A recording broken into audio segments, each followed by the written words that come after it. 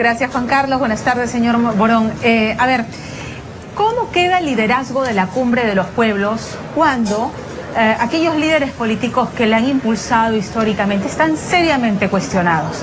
Son líderes de izquierda que se proponen como un modelo alternativo al modelo económico tradicional en la región y hablamos, por ejemplo, de Nicolás Maduro, un dictador eh, y cuyo gobierno es acusado de este, ser un cártel del narcotráfico. Cristina Fernández de Kirchner, acusada de, o en un proceso por lavado de activos, acusada de asociación ilícita para delinquir, de encubrir a los terroristas eh, que ocasionaron el atentado de la AMIA. Lula da Silva preso por corrupción. El señor Correa también acusado del mal manejo del tesoro de la deuda pública y bueno, ya conocemos aquí a Ollanta Mala que está preso preventivamente también por un tema de corrupción. ¿Cómo queda el liderazgo de la cumbre de los pueblos? ¿Cuál es la imagen que dejan estos líderes que se pregonan como los eh, abanderados de un modelo económico alternativo? Bueno, mire, yo primero que nada quería decirle de que eh, habría que actuar con mucho más cuidado al hacer esta caracterización que usted hace, ¿verdad? Digo, Lula da Silva ha sido puesto en prisión y hay enormes dudas acerca de la evidencia que hay en su contra como para enviarlo a la cárcel. Esto lo dice la muy prestigiosa Orden de Abogados de, Brasil, que es una institución que ha, tenido una larga trayectoria de protección de los derechos humanos. No son necesariamente partidarios del PT ni de Lula, pero reconocen las debilidades del debido proceso. En el caso de Correa no hay absolutamente una sola prueba que lo pueden culpar. Sin embargo, ha habido un linchamiento mediático del, señor Correa y yo creo que si hay algo que tenemos que defender es el debido proceso, Pamela. No puede ser que porque hay una acusación, porque así como hoy acusan a Correa, mañana la pueden acusar usted, ¿no es cierto?, de un delito y, usted quede indefensa. Tenemos que atenernos a la regla del derecho. El derecho es cuando hay pruebas y si hay pruebas efectivas, las personas tienen que ir a la cárcel, pero no se les puede, de verdad, condenar preventivamente como desgraciadamente se hace en muchos casos.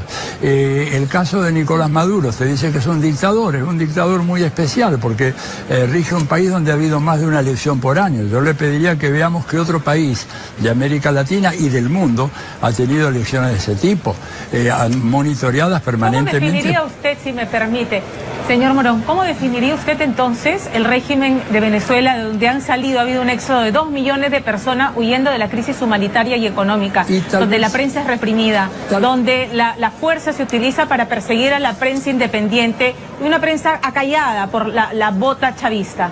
Eh, realmente me sorprende lo que usted dice. Se ve que no ha estado en Venezuela, ni conoce el país, ni ha recorrido, ni ha hablado con la gente, porque fíjese usted que los principales líderes de la oposición de Venezuela, María Corina Machado, eh, eh, Borges, etcétera, entran y salen del país sin ningún problema, hacen declaraciones a la prensa, tienen conferencias de prensa, todo eso se publica en los medios venezolanos. La, verdad que si eso, perdón, quiero terminar. Si eso es una dictadura, bueno, le aseguro que en las carreras de ciencia política de Estados Unidos tenemos que empezar a definir otra vez lo que es una dictadura. Yo creo que acá hay una visión muy estereotipada que no ayuda para nada. Y en cuanto a los emigrantes, le digo, probablemente no sé si el número de ese 2 millones me parece un número muy exagerado. En todo caso es menor de la cantidad de gente que huye de Centroamérica, México y Colombia yendo hacia los Estados Unidos o hacia otros países a buscar refugio por la crisis económica. Entonces seamos equidistantes y veamos, ¿hay gente que está saliendo de Venezuela? Sí.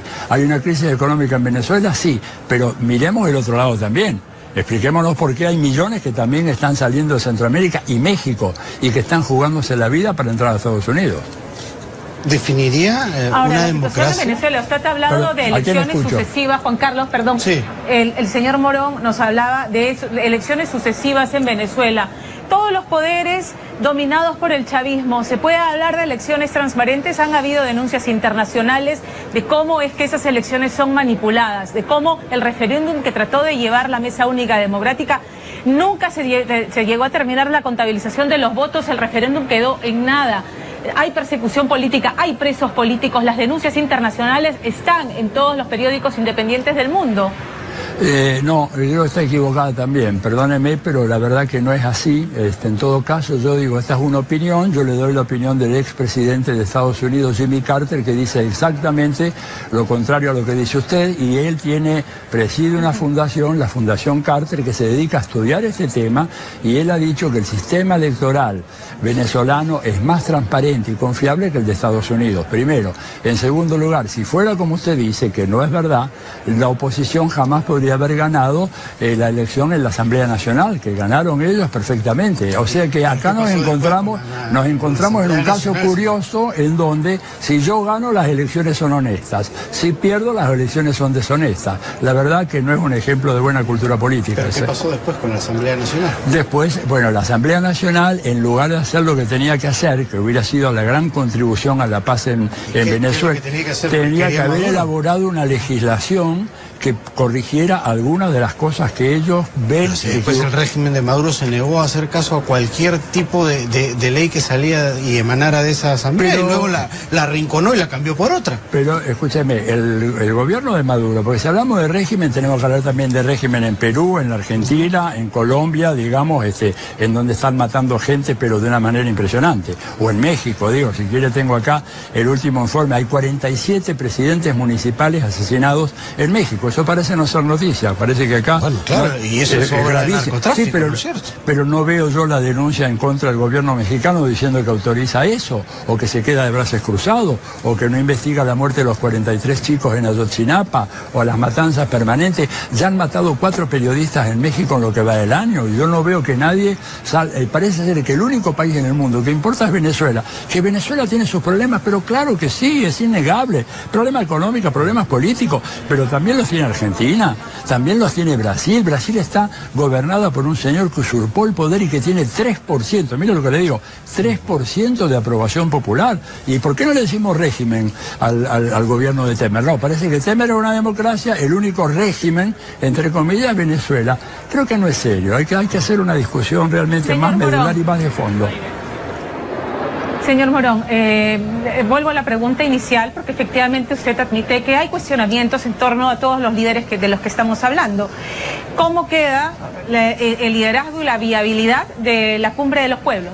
Eh, bien, eh, de la cumbre de los pueblos, dice, Mira, la cumbre de los pueblos va a seguir una dinámica que es independiente de los gobiernos. La gente que está ahí no necesariamente representa a los gobiernos. Yo no represento a ningún gobierno, ni muchos los que están ahí. Creo que nosotros podemos hacer una contribución positiva a discutir algunos temas que son de enorme importancia para América Latina. ¿No es cierto? Creemos que tenemos derecho a hacer escuchar nuestros puntos de vista ante un presidente como el de Estados Unidos que ha calificado a nuestros países como países de M. Por razones de respeto a la audiencia no voy a decir lo que el muy mal educado presidente americano dijo de Perú, de Argentina y todo lo demás. Entonces nosotros tenemos alguna opinión, no somos esa clase de países, somos países que queremos tener una vida digna, va a ser muy difícil, es una tarea enconadísima, haga lo que haga, siempre va a tener gente que está en contra. Dilma Rousseff es una persona a la cual no le encontraron absolutamente nada y usted sabe cómo la defenestraron de mala manera, apelando a malos jueces y a malos legisladores corruptos. Usted sabe que casi la mitad de la Cámara de Diputados de Brasil está investigada por delitos de corrupción. Entonces, y esos fueron los que condenaron a, esta señora, ¿verdad? Entonces me parece que tenemos que tener mucha cautela en estos momentos, no dejarnos llevar por los clichés fáciles, este es un régimen, este es bueno, este es malo. Tenemos problemas gravísimos en toda la región. Yo lo estoy viendo y creo que es importante el diálogo, ponernos de acuerdo, sin eh, eh, eh, extender un cheque en blanco a ningún gobierno. Que hay un problema de corrupción, en todos estos países y que hay problemas de corrupción en Venezuela, pero claro hay, pero Francisco dice que hay un problema de corrupción en el Estado del Vaticano y que está luchando él contra la mafia que se le metió en el Banco del Vaticano. Entonces, ampliemos el foco eh, para poder hacer un análisis comparativo y viendo a ver qué es lo que podemos hacer, porque esto nos hace mal a todos, de un lado y del otro. Ok, muchísimas gracias. Bien, Juan Carlos. Sí.